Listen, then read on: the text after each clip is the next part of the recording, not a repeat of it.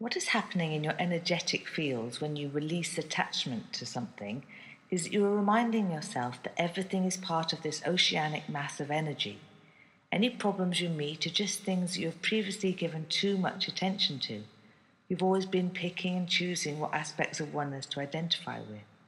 Furthermore, you have then been holding on to them as if they are true or fighting them because they are depressing you.